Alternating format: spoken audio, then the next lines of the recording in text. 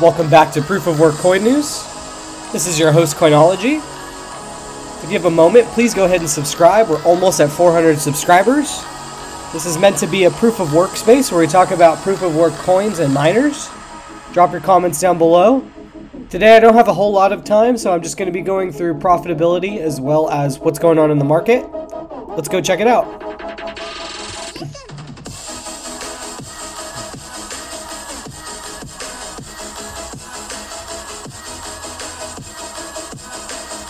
So currently we have BTC moving sideways. Uh, we do have some upwards momentum from some of our coins. Uh, we have Doge moving up almost 3%. We have Kaspa moving up 5%. We also have Firo moving up 3%. And Zen Token moving up 2.7%. On the other side of things, we have Komodo moving down 2%. Jumping over to GPUs, we currently have the 4090 in the lead at a 10 cent kilowatt hour. Uh, SkyDogeNet is doing a dollar five cents revenue, 64 cents profit. SkyDogeNet is uh, one of the better coins for most of the 40 series, but we do have a new contender. Kiiro coin is most profitable on a couple of the uh, higher model 30 series GPUs. So 3090 is currently doing $1.18 revenue and 35 cents after power. CMP 90HX is doing 89 cents revenue and 29 cents after power on Kiiro.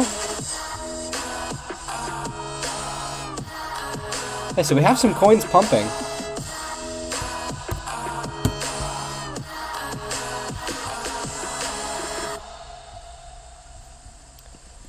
Currently, right now, your profitability dries up at about 14 cents.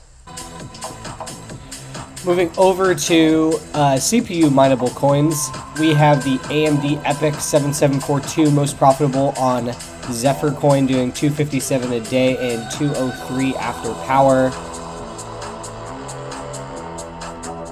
We definitely have some profitability on the chart for CPUs currently.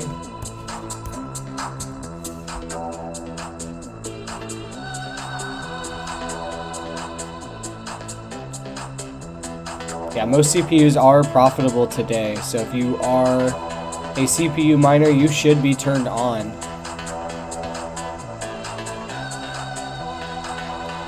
Moving over to hashrate.no actually uh, went ahead and put Osprey E300 on the chart, which is awesome.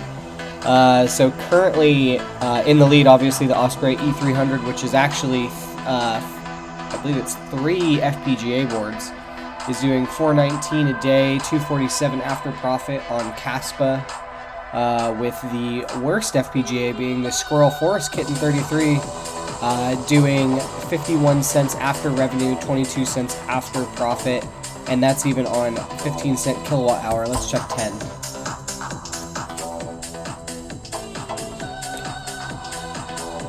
Yeah, a little bit more profitability, obviously.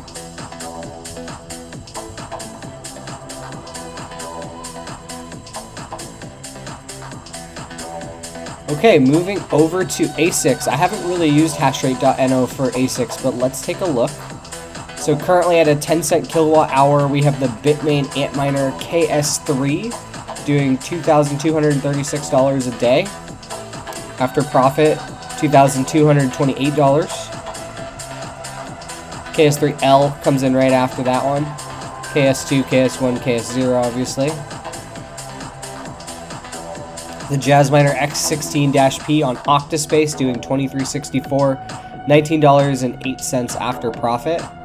The Antminer L7 on Scrypt mining doing 1877 a day, $10.55 after profit. The S19 XP on Bitcoin doing 992 in revenue, 265 a day after profit.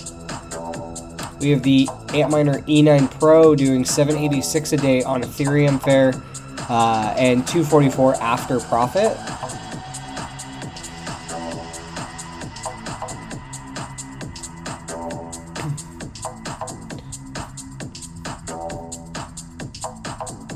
Let's have the Antminer K7 on CKB doing 4.99 a day.